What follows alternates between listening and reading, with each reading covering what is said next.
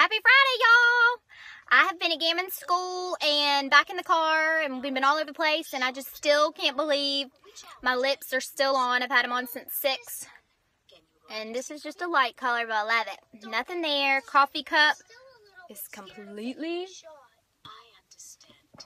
white still.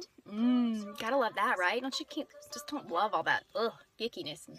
And to think about all the lipstick we eat throughout the year, if you think about it, look that up. It's nasty. Um, you eat like a pound of lipstick a day because it gets some things, I mean, not a pound a day. Good Lord. A pound a year or something insane like that. Um, but anyways, just wanted to say hey and so excited for y'all about to get this stuff and anybody that wants to know any more about it. My lips have never felt better. It's amazing. This stuff makes me freaking happy. So, um, that's all I wanted to say. That, and I'm going to show y'all something so cute. Today is Hadley's first day of having pigtails.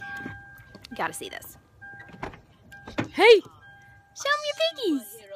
Hey, Boo-Boo! Hey, pigtails! No marks on the baby! Yay! Say bye-bye. Can you blow a kiss? Bye-bye.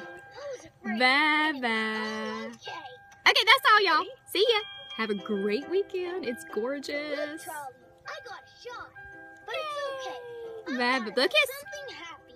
Dead sweet girl.